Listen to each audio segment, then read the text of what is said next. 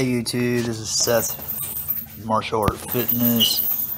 Please hit the like, hit subscribe, hit the bell notification. I just want to say this, you know, this is a boxing bag workout, training session, whatever you want to call it. Um, I'm kind of under the weather when I was making the video. I mean, I had diarrhea all day while I was at work and plus toward the end of my shift somebody kind of pissed me off one of the employees kind of pissed me off. And so I decided well I'm just gonna go down in the basement and hit the punching bag and to relieve a little bit of stress on top of it. And but um, it wasn't really my full workout. I only worked out for like 45 minutes on on the bag, just on the just doing bag work. And I kind of walked around in the 30 second rest period.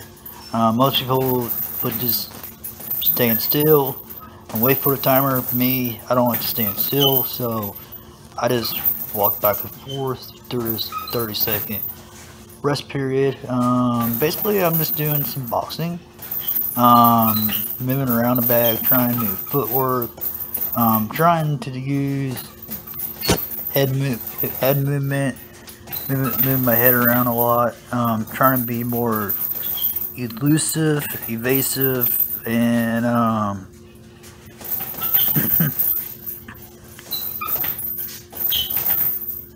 offense and defense attack.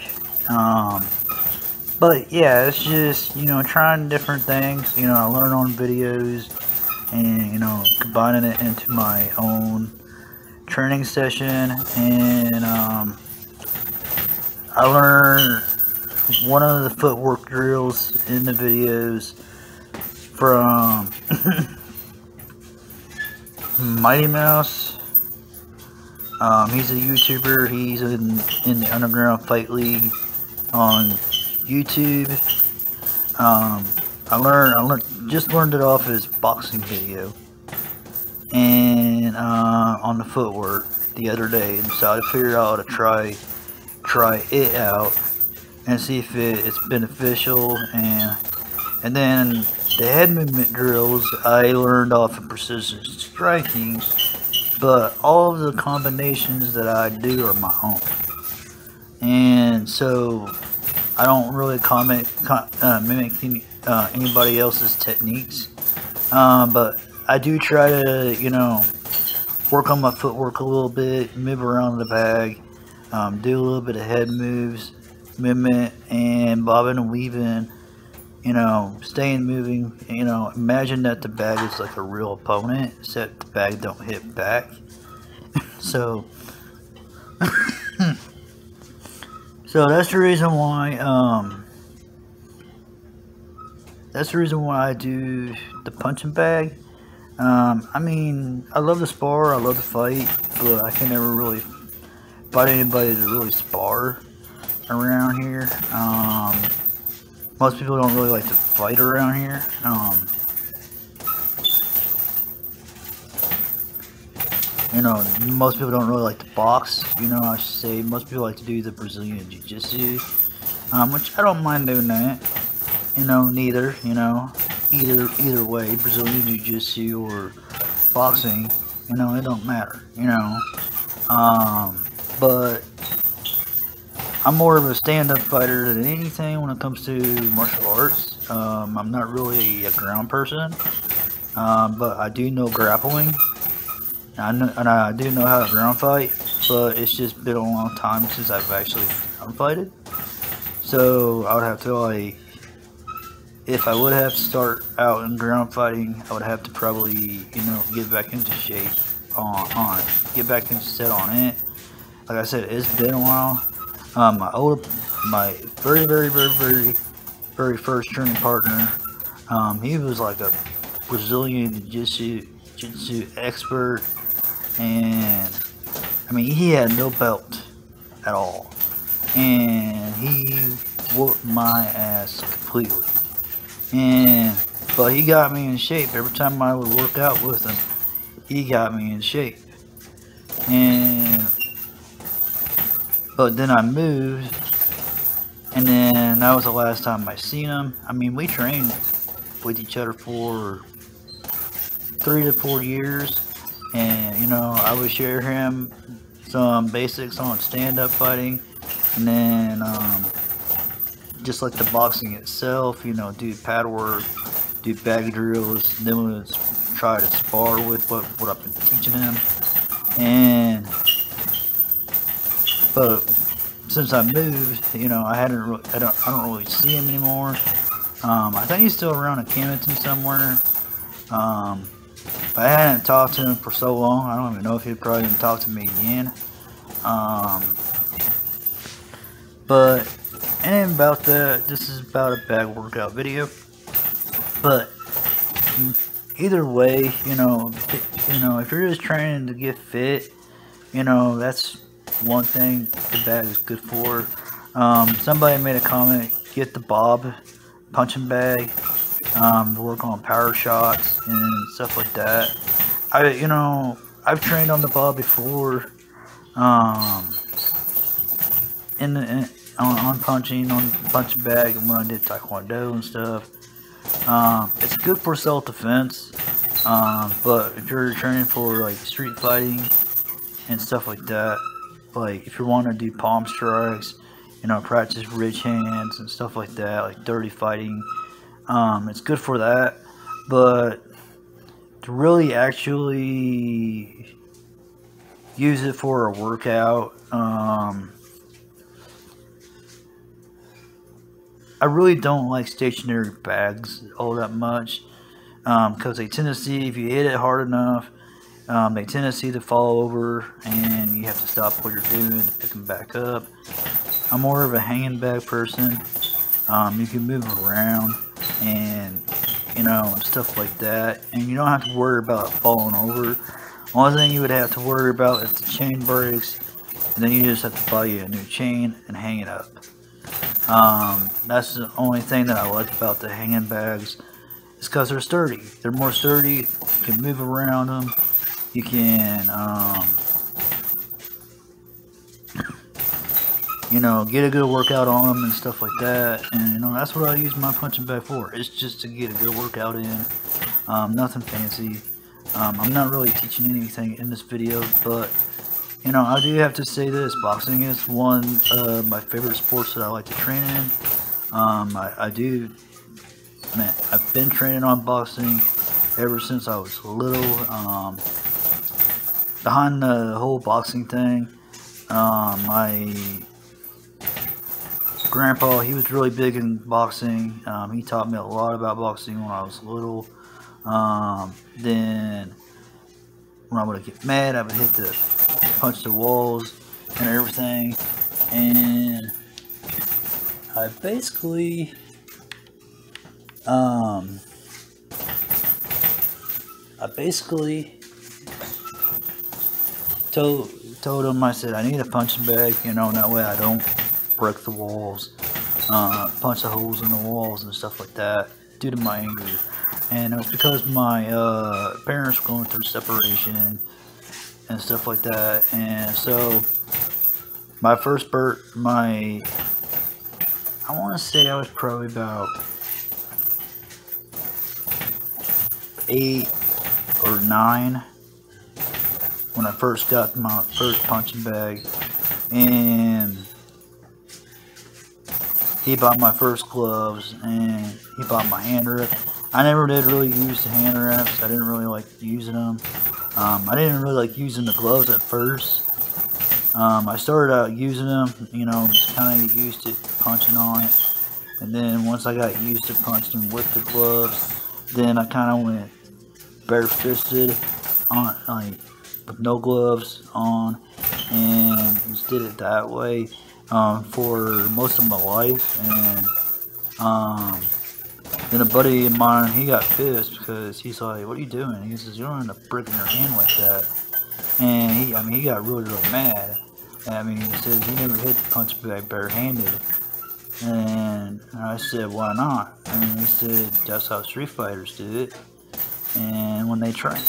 So, you know, I switch it up, and once in a while, you know, I might hit the punch bag off and on, you know, with gloves or without gloves, and but I don't do do it a lot because it is bad on the on the knuckles. You know, if you do hit hit hit the punch bag bare bare knuckle, um, gloves are beneficial because uh, you know it helps protect your hand um, when punching. But you know you got to realize you know if you do get in the fight, you ain't gonna have gloves on. Um, so I try to train both ways.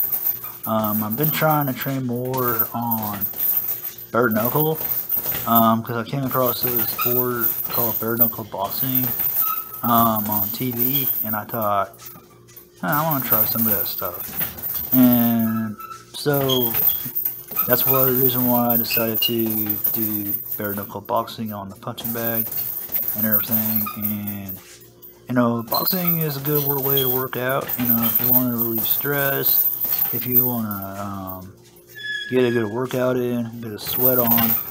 Just 45 minutes is what I did on the punch bag. Um, I did like six rounds of three minutes with a 30 second rest period. Um, most trainers, if you would be training for a fight, uh, most trainers would um, train you that long in the ring or in the bag while sparring in the match. And basically, it's just that. Basically, it's just that um, when I used to compete a lot and everything, that's what my instructor told me to do every night. And he he would write down notes for me to go over, and you know, curriculum notes, you know, for me to work on at home, and then I'll do that from there.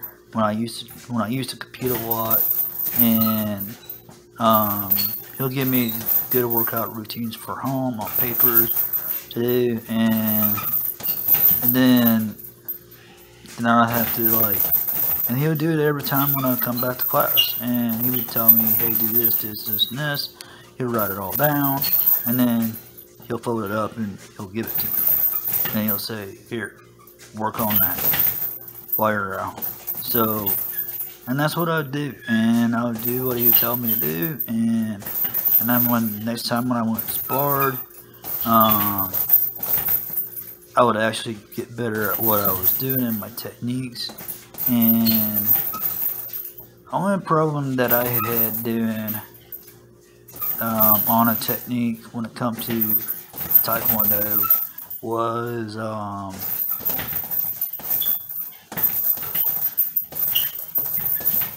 the hook kicks, the inward hook kick, the angle in inward hook kick. Um, that's about the only one kick that I had trouble nailing at the time on somebody, but in sparring. But when it comes to um, actual actual um, sparring, I actually did try doing some of that, but I just couldn't really get my leg up there that high. Just high, I mean, because I'm not. I'm like I said, I'm not really that flexible. So it's like I just stayed with the basics on what I like doing. But I did at least try different things, you know, in sparring if I can do it, and if my instructor wanted me to do it, and so. but anymore now, um, I stick mostly with karate and boxing. You know, I stick with my first original style that I've learned training all my life. It's mostly boxing, but I've also still stayed with karate as well. Um, but as like I said, it just depends on how I feel. If I feel like doing karate in a video, then I'll do karate in a video. Then, but when it comes to um, Taekwondo, it's gotta be just depends on how my foot is or how I feel if I have a lot of energy um, to be able to do Taekwondo. Um, taekwondo takes a lot of energy out of you because you're using your legs more. Um, where karate and boxing, you use mostly your hands. Um, karate, you end up using all of it, but you don't use your legs that much when it comes to karate. Um, I don't know if it's Kyokushin karate, then then they use kicks and it. I do notice that they do have kicks in Kyokushin karate. Um, but if you just train in Shotokan, Shotokan kind of has some kicks, but they don't really have a whole lot of kicks um, in the style of Shotokan karate. Uh, but it is what it is. Um, but the main style that I do know of Kyokushin karate is um, just sparring and judo. Um, but um, it it does have a lot of kicking in it, um, a lot of punching, even kneeing, um, leg sweeps, and everything else. Um, but the thing of it is, um, you can only do like certain kicks. Same with Taekwondo, you can only do certain kicks, you know.